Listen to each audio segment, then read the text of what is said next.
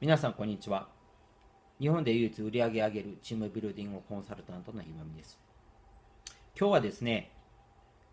ブンデスリーガーサッカーのドイツリーグのパソコン監督のお話をしたいと思います。えっと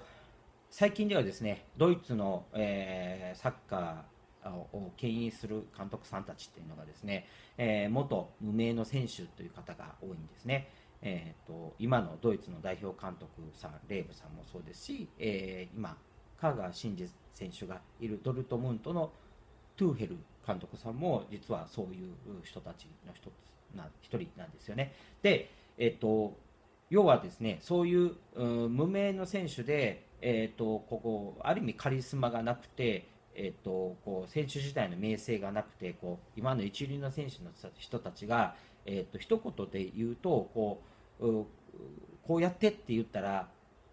あのはいやりますっていうことではない、えー、そういうこう、えー、意味でのこう敬意みたいな尊敬の敬意みたいな関係がないっていうところの、えー、チームだって監督だっていう選手と監督の関係だっていうふうに思っていただいたらいいなと思うんですけどでそういう人たちがやっていて結果を出している組織づくりっていうのはえー、実践に任せるっていうことと高い理想や目標を掲げる組織づくりをしているっていうところなんですよね。あの結局うんとまあ、実践に任せるというのは僕の言葉で言うとやりたい選手だけやればいい。変わりたい選手だけ狩ればいい、えー、私たちはチームはこういうやり方をしたいと思っているからそれに賛同する人からやっていこう。一見ですねあのえって思われると思うんですがあ私も自分の今までのチームビルディングとか、えーと、組織づくりで劇的に成果を上げた方法っていうのは実はそういうやり方ですね。そうすると,、えーと、最初やりたくないっていう人たちも徐々にそうやって本当にやりたいなと思い始めてやった人が、えー、成果を出す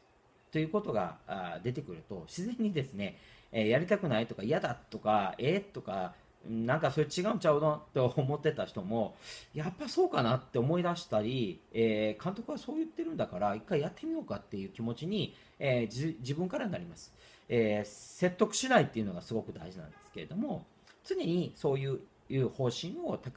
掲げて、え運営してやっていくと。そうするとですね自然に、え数ヶ月後にはあのみんながあ自主的にこういう方向性でやりましょうっていうようになってきます。はい、でそこで、えーと、なんでしないんだなんで俺が言ってるのにってコントロールいわゆるこう相手をですね、えー、こう力ずくで抑えようとするとほぼうまくいかないということになるかなと思うんですね。ぜひですね、えー、コントロールは権力だって相手に依存を生むんだっていうことをこう頭の中に入れていただいてぜひ実践に任せること、えー、高い理想や、えー、目標を掲げてやるっていうことを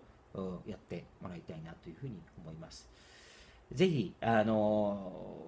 ー、こう成果を出すチーム、成果を出すリーダーに、えー、経営者になっていただきたいなと